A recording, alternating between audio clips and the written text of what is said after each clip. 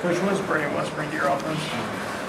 Well, I think of everybody offensively, you know, we hadn't had a lot of consistency so far, but I think Braeden's been the, the bright spot. I mean, he is, uh, and it's not surprising, you know, he practices really well, uh, takes a lot of pride in what he does and how he does it.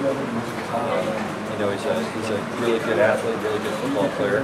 But I think just his work ethic and maturity is probably, you know, it's important as anything else. You know, he's just, he's just somebody that understands how you're supposed to work and, uh, and how, how important it is to practice well, and that carries over to the game. So I've been pleased with what he's done so far. You know, I, I expect him to have a bigger and bigger role every single week. And uh, like I said, I think he's been a, a really bright spot for an offense that you know has been struggling so far.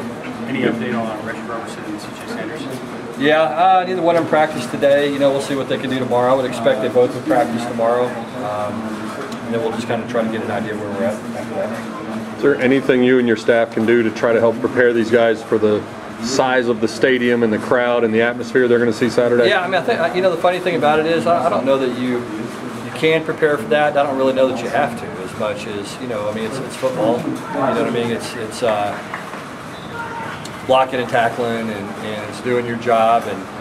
You know, I think when you play in a loud atmosphere, you have to do a good job of over communicating. I think that's the one thing that we have to, to make sure that we do a good job of.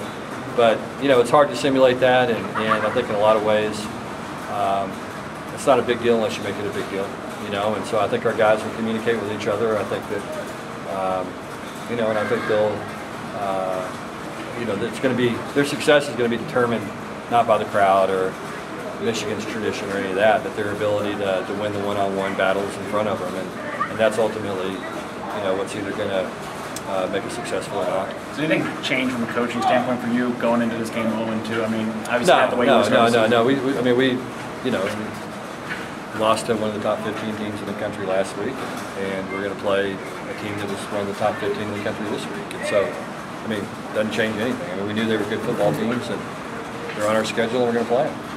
You figure that there's a way that this tough schedule is going to somehow pay some dividends down the road? Yeah, yeah. I mean, I think I think anytime you play good people, it pays off you. I mean, I think it, you know it's like anything else. It's it's uh, it can be painful at the time. You know, it's you know it's funny. But the funny thing about winning and losing, it always you know the, the, the other team always has an impact on that as well.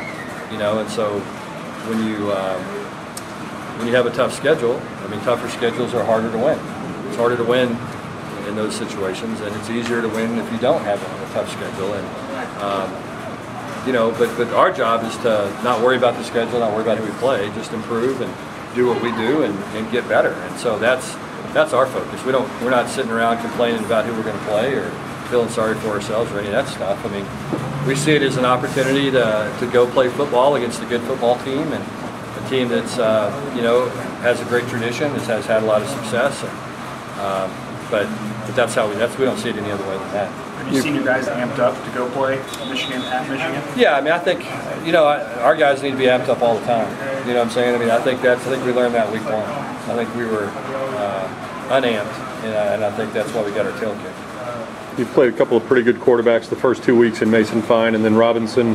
How is Patterson different? What are the, in terms of the challenges he presents for your defense? Well, totally different, you know, scheme. Obviously, you know, they're they're uh, uh, really on both sides of the ball. You know, they're a downhill uh, scheme, really defensively, and they're a downhill scheme offensively. And so it's different scheme. You know, uh, Patterson's like most first-year players. I mean, he's learning. Um, you know, I think he made big improvement from week one to week two. I would expect him to improve from week two to week three. That's just what guys do when they're new in a system. It takes a little bit of time for them to get the kinks worked out, and uh, for him to perform, I'm sure, the way he wants to perform. It's, it's like anything else. I mean, it doesn't happen overnight. It's always a work in progress. It's uh, you know, it's a work in progress for the guys in the NFL that have been doing it for 15 years. And that's just what football is. It's, you know, you show up every day, you work hard, you hope to get better, and you know, you're trying to always work on your timing and understanding of, of the, the offense and the defense you're going to play against. And, and so he's like everybody else. I mean, he's going to, the more snaps he plays, the better he's going to get. What can you all do to ensure Ben Hicks a little bit better routing this week?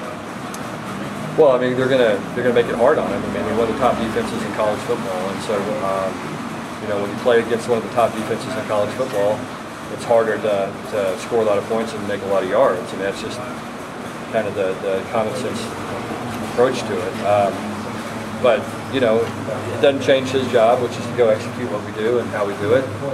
And uh, you know, and I think that's what our, our issue hasn't been as much who we played. It's just been our, our ability not to, to or our we haven't executed the way we need to. In, other words, and I think that's been been our our uh, our issue so far. I guess this season has been that. It's you know your opponent always has something to do with it, but you always have something to do with it as well. Coach, rotating uh, guys in and out of the defensive line, what have you found the results there?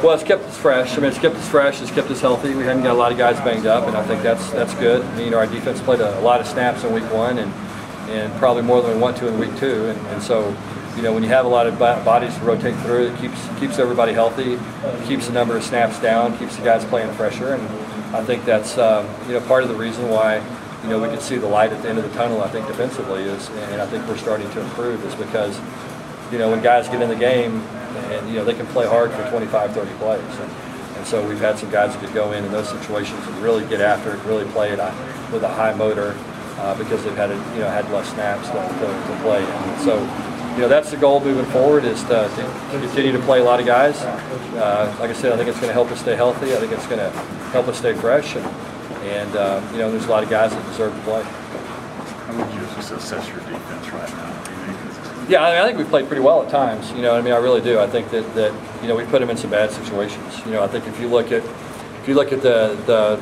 you know we gave up 42 points Saturday, seven on a punt return, uh, seven on a fumble return for a touchdown, and then gave them the ball inside the 15 another time. So, you know, when you look at that against a pretty good offensive football team at TCU, you, you start to say, well, you know what, we're making some progress. We gave up a couple of too many big plays. I mean, I think that's what hurt us on Saturday, but you know, I thought we stopped the run uh, fairly well uh, against again a team that's going to work really hard to run the ball, um, and we're going to have to do the same thing on Saturday. I mean, Michigan's going to come out and you know try to try to ram it down our throat, I'm sure, and so we've got to do a good job of, of holding up and, and stopping the run.